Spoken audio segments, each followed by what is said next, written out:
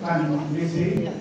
Um, those people haven't uh, attended uh, a uh, committee meeting before, uh, people sitting on this side of the table with me are members who will be making the decision, or or our officers will be advising us on the decisions, and people on the other side of the table will be councillors who will be making the decision. Okay. Um, uh, I, I propose, I don't necessarily propose to follow the order of business in the, in the committee papers before us. In fact, it will be changed, I'll come back to that later on. Um, a word about public speaking, if I may. Um, when your name is called, if you come and sit um, where it says speakers there, and you have three minutes. Um, after two minutes, you'll be told you've got one minute left.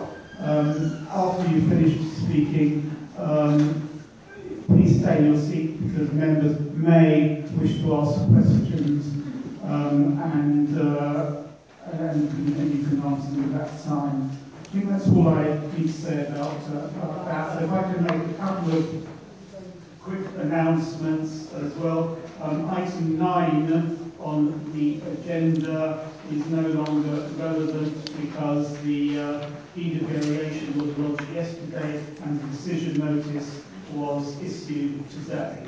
So uh, item nine is off the agenda. Um, um, uh, the other right, the other announcement I've got to make is that um, Harriet Beattie, who's with us today um, will be leaving the employ of the council. This is the last planning meeting. And I'm sure members would wish to join me in wishing her every, uh, every happiness in her new employment with the BCLG. Thank you very much. Right, let's, uh, we've got a long agenda, so let's uh. Uh, first item is the minutes of the last meeting. They have been circulated. Um, can I agree that they're strong, or has anyone got any objection to the minutes, Councillor Patrick? Have you any, any objection to the minutes? You objected? Oh, you you agree with it? Fine. Thank you. Um, next um, item on the agenda is uh, absence of members.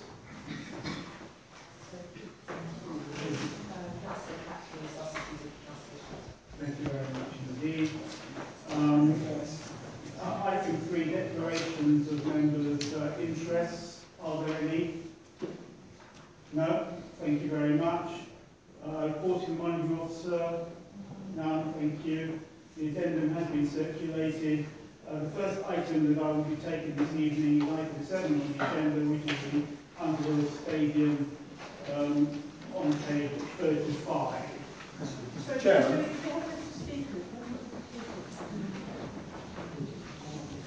Bit louder. Right, yeah. Your mic's not on, that's why. Sorry, I was asking if you have a list of speakers. We don't normally give a list speakers. I haven't got one. So my apologies, um, I, I have a list of something. No, still no sound. We can't hear. Yes, please speak to the mic. Please carry on. Mr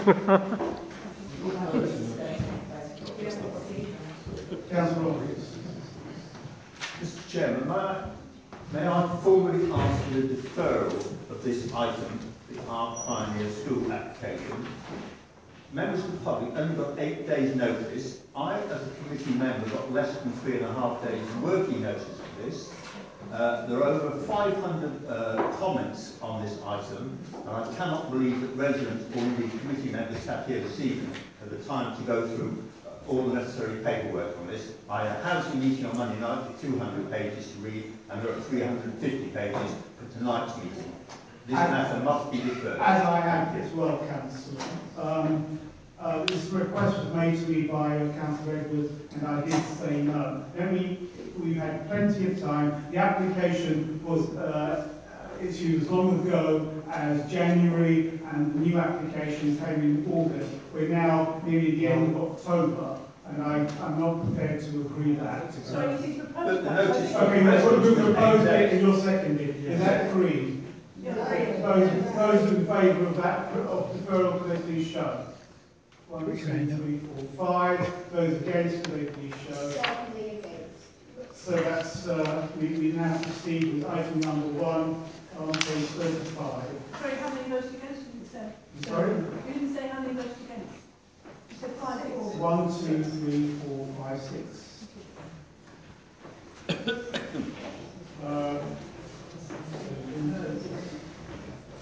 Thank thank you, Chair. Um, Sally Ryder. Uh, Chair. Uh, I said the first item on the agenda relates to uh, Stadium, which is the excellent Park White Football Club. Uh, The application relates to the demolition of the existing building on site, uh, the erection of a new school. Um, This is the site here, uh, I just mentioned, it used to be uh, one. No one can hear and the public have a right to hear. As, as, I, as I was mentioning, um, this is the old football, football club site here. Uh, we have um, uh, an area of open space to the to the south, um, and this, this is the 1000 to the uh, east here. Um, this is aerial shot that's shown a bit more, a bit more in detail. The application itself relates to this part of the site, um, which is, um, as, as I say, uh, currently occupied by a football stadium. This, the site is within the green belt in the borough. Uh, the, the green belt covers all of this and to the, to, to the south, including the football ground. Um, there was a previous application on the site, which members may recall back in uh, January this year. Uh, the application uh, proposed uh, an all-through school, uh, which was a primary and secondary school, which could have incorporated up to 1,680 pupils. Uh, the application was refused um, on, on, on the basis of the unacceptable impact of um, the development on the local traffic conditions and also in terms of the of exceptional circumstances for development of the green belt, which was mainly based on the excessive scale of development was considered by members. Um, so, from, sub- subsequent to that refusal, uh, the applicant has gone away and worked very hard to, to address those concerns and those reasons for refusal. Um, and that's where the, the current scheme has come from. So the current scheme has removed the primary school element, uh, which has significantly reduced the, the number of pupils uh, that would be on site. Uh, the, the number of pupils comes down to 1,200.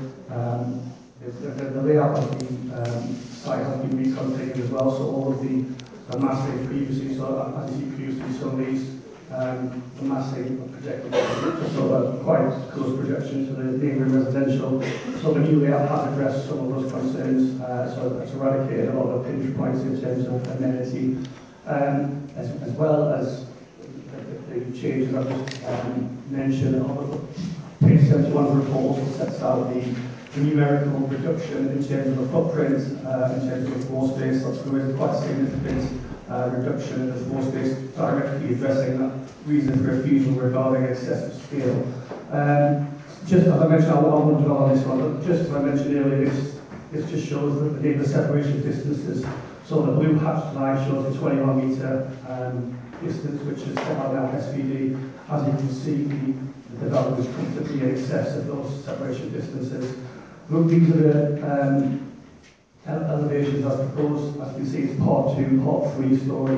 Um, the scale has been significantly reduced and, and the, the materials palette is simple, refined, and it, aims to um, fit seamlessly into the surroundings. Um, so yeah, I've worked hard in that regard, with some comments previously about the design, so it, ha- it has worked hard to address those previous concerns and we think it is a, a design. Um, at, this point, um, I'd just like to, I'd just like to um, pass across to Val White, who's uh, the Programme Director for Education, who's going to um, basically set out um, the key issues of this with the application relates to the need for school places in the borough. Uh, that was one of the reasons for refusal um, previously. Um, we, we mainly for the primary school, but this relates to just the secondary school. So I'm just going to pass across the Val for these next few slides. Thank you, Chair. Uh, my name is Val White, Programme Director, Education and Learning. Um, slide. And one. Okay, um, this first slide uh, shows and sets out the need for secondary school places across the borough. Um, you'll see on the right-hand side, forms of entry are basically classes of 30. So by 2022, we're projecting that we need around 22 forms of entry. That's the equivalent of between three and four secondary schools in the borough. Um, the proposal tonight is for a sixth form entry school, uh, funded entirely by the Department for Education, which represents uh, an investment into the borough um, of infrastructure of around £30 million. Uh, this is the cost that the council would have to find um, if, if this proposal doesn't go ahead. Okay. Um, at secondary level, um, the local, as a local authority, we have a statutory duty to ensure that there is sufficient provision in the borough. We have to make sure that there is a school place for every Barnet child who requires one. Uh, for secondary, what this diagram shows you is that um, in general, it's an expectation that secondary age children walk approximately three miles to their nearest school. That's considered an acceptable uh, distance to walk for secondary school children. This map shows you that 2.8 uh, miles diameter around the site. So you can see um, that actually the site serves quite a wide range of needs in, in, in Barnet in terms of meeting the needs that we're, we're looking uh, that we need to cover. um, there's been a lot of talk about the need being in the west of the borough. What this slide shows you is all of the primary, extra primary school places that we put on in the east of the borough. So these are all primary schools, but since 2009, the top table shows new schools or permanently expanded schools.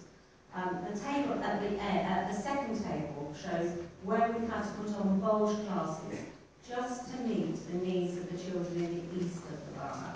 So for each 30, that is one for entry of uh, children who will very soon be looking for a secondary school place. So I just uh, wanted you to look at this um, because you'll see from this that around 19 or 20 schools in the east of the borough, primary schools, have helped out over the last uh, since 2009 to make sure that all the children in the east of the borough have actually had a primary school place. These children are fast approaching secondary, and the proposal on the table will meet the needs of children in the east and towards the west. And I'm sure lots of you know how schools work, that catchment areas and schools shift and patterns and demands shift as schools get established. Um, so that last slide showed you children who are currently in primary school, but of course you'll know that in the east of the borough uh, there's significant new housing being developed. So these are new housing developments that we have to ensure that we have a school place for any new families that move into the borough as a result of these housing developments. So across these two slides you'll see that we've already got um, uh, a lot of children in the east, in primary now, working their way through, and we are also having to anticipate that as well as those children, there will be new children moving into the east um, over the next few years as a result of these housing developments. Um, in terms of what we've already got in terms of schools, you'll see this is our current position today. So I've listed here um, non-selected, non-faith schools. So I haven't included um, our faith schools here. And you'll see uh, that all but two in the east of the borough are currently full and oversubscribed. So you'll see that there is some capacity at Totteridge Academy. So at the moment today they have 70 places in year 7. Uh, those who are familiar with schools will often know that between October and July places get filled with in-year um, applicants.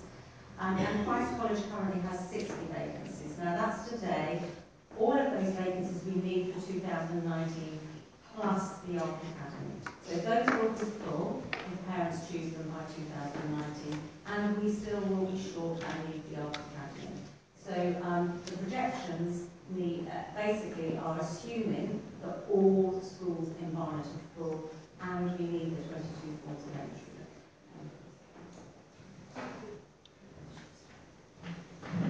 Thank you, Val. Um, so, yeah, as again, the second reason for refusal arising from the previous application was the, the impact on local traffic arising from development. Uh, so, the, the, one, of the, one of the key junctions with, is, is, is this one here, which is um, called the year 1000 uh, Underhill. Uh, so at, at the minute, it, it is um, quite congested at peak, peak times. Um, so we, as, as part of the transport scheme, the applicant has carried out traffic counts which assess the existing um, congestion at those junctions, which is expressed through uh, queue times. Um, so at, at, at the minute, it is, acknowledged that this junction is at capacity, uh, which is, is usually is, is, reached, is reached when a junction of 90% capacity is judged to be at capacity. So it, it is inevitable that any, any development will worsen the situation. Um, however, the applicant, the applicant is committing to providing highway improvements as, as shown here, which will allow two lanes of traffic to travel in each direction. Um, and these, these, the traffic modelling based on this new junction it has shown that there would be significant improvements beyond the existing situation. So it, it's key to, to note that not only would it address traffic arising from development, it would address existing traffic conditions as well. So there will be betterment in terms of the traffic conditions that exist presently. Without a development, um, no, no, traffic, no traffic issues would continue, would worsen through natural background local traffic. So in actual fact, the, the highways works that are proposed would better the existing situation. So that's key to.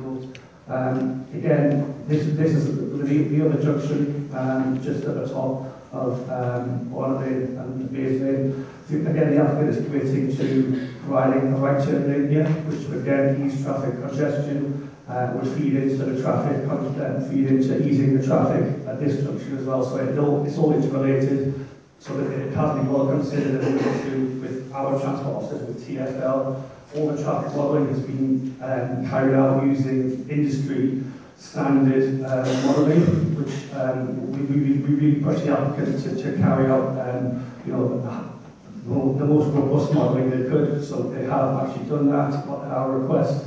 So all, all the modelling carried out showed that there would be significant improvement in traffic, traffic conditions. Um, in terms of car parking, uh, 62 would be provided uh, alongside car park access off Westcombe Drive here. Uh, the number of spaces is appropriate for the state of the school and, and um, based on the modal uh, share. Um, in terms of open school parking, there is a travel plan, would be a travel plan in place with teeth. So if, any, if the, the, the car use um, targets were met, then there would be a CPZ review and surrounding it would be expensive the applicant. So, you know, it, there, there are some, um, there, there, there was quite a robust travel plan in place to ensure that those um, targets are met. So just to summarise, um, as I said, the two key issues are the school need, which I think my colleague Val has expressed very clearly, and in terms of traffic, it's, it's important to note that there would be betterment in terms of traffic conditions at present. Um, just, just to conclude, uh, just, just to back up what Val said, this application relates to a, a really vital piece of local infrastructure, which um, I think we, we, are, we are very strongly um, supporting as officers. Uh, we think we set out all, all the reasons why in this presentation, so um, I should conclude on that. Thank you, Chair.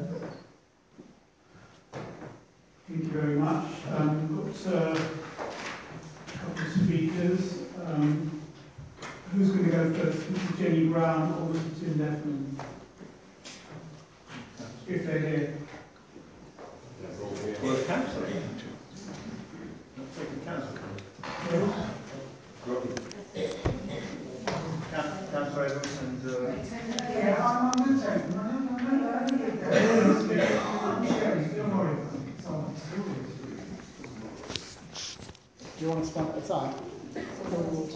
One more time. Can I just sit there? Yeah. You're Mr. Jenny Brown, yes?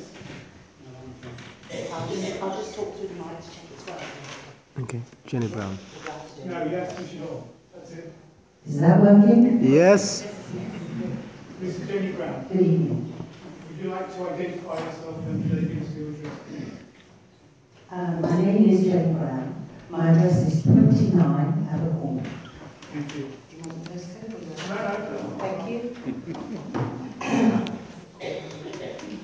Good evening to you. Do you want me to start? Please. Okay. Most of the need of places comes from the other side of the borough, as Val has the west. The primary bulge in the east has receded. Using the Pioneer three-mile catchment over eight wards, With the GLA ward by ward figures, the true need for places is nearer to three to the four forms of entry. I must stress, because of time, we cannot go into the workings, but we have the papers here, and they're available to the committee if the chair wishes to see more details. It's three or four forms of entry. At least two could be provided from the TTA. But let's be clear, even the three or four forms of entry are a temporary bulge, disappearing in 2025. From the 2025, bulge recedes and the numbers return to the 2017 figures. Discussion in secondary schools about offering bulge classes is not in the meeting notes or reports and suggests a lack of exploration of options. Local authority figures on need secondary school places which are not borough-wide but are localised is a fundamental omission.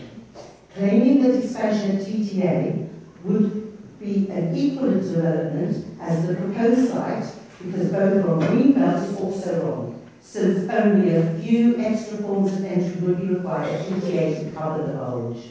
Our pioneer proposal does not meet an identified local demand, but is a borough-wide response to a need mainly in the west of the borough.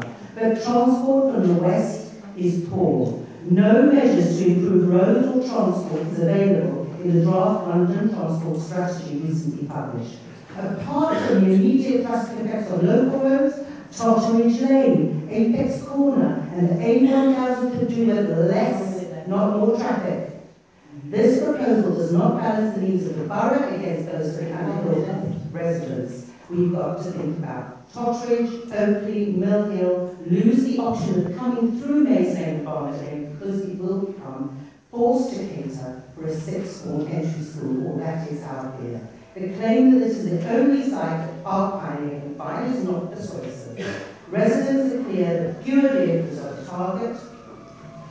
Earmarking land for schools, e.g. Brent Cross development, would benefit the whole borough by planning school places in the area where the need is. Local residents and those beyond are not gaining from this proposal. Thank you. Thank you very much.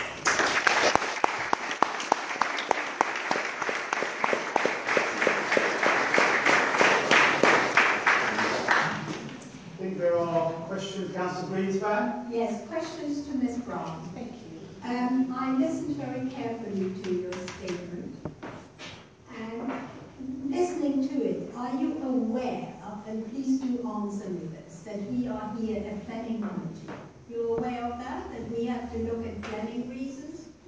When, when I am absolutely, and I too have been studying Can planning you law. please tell us a very good planning reason why we should not accept this? Yes, certainly. Um, because of the figures, as I say, I couldn't go into all of the workings, But but the figures are, on education figures are not planning reasons. I'm sorry, I, What? I So what's have the point of having disagree. it then? Sorry. Yes, I, I feel that it's not my place to explain this, but I have to disagree. You can disagree with us. you want. All right, then I will go further. Excuse me, Chair, I would like to answer in that case.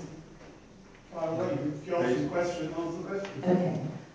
A crucial part of this planning application rests on proving that the green belt does meet the exceptional test for allowing that we need to be able to see clearly that every option has been explored and that everything has been done in order to meet the exceptional test. We have to prove that there is a need in the area. We have to prove that this is the best planning we can do. And yes, in terms of protecting the green belt, it is terribly important that, we, that this is part of planning. Quite right. Well done. Yeah.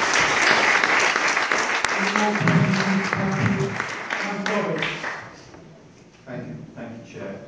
Uh, uh, Jenny, um, Academy is less than half a mile away from, from, from uh, this proposed uh, application site. That school is not fully populated and has further space to take on extra classrooms. Yes, my understanding is from the public meeting that was not provided by ARP, but from local councillors, that um, Jerry Collins was there and the chair of Ark was there.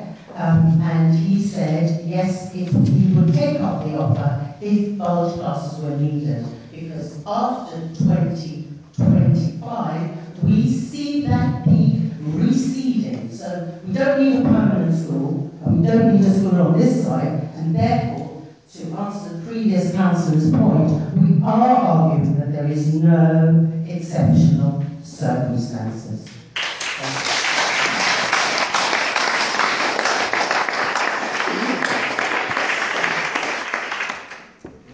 You, touched upon it, others have touched upon it. One of the major issues here is, is about traffic, and we've seen the proposals to, to alteration on, on the 1000 and on the, the Mays Lane roundabout. Uh, my concern a bit more than that is traffic represents today uh, pollution. Um, Totteridge, uh, Totteridge Academy is halfway up the hill towards Totteridge Hill, and there is Barnes Hill. This is right at the bottom of the valley. I'm going to ask my question is, Do you think this is a suitable place for young children to spend their, their entire school time, secondary school time, given that this is a pollution hotspot? Um, I'm going to leave that to my colleague because he's covering pollution as his part of traffic. I simply wanted to focus our minds on the traffic issues being not only specific to the Underhill residents, because across the borough we are all going to be faced with the issues when you ask traffic to move from one side of the borough to the other. Thank you. Councillor Prentice. Uh, yes, Mr. Brown. Can I ask you how close you live to? Yes, certainly. I'm in the three mile catchment area.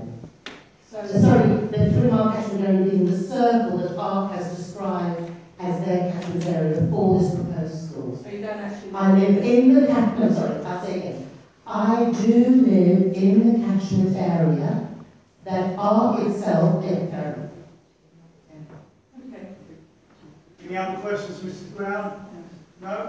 Thank you very much, Mr Brown.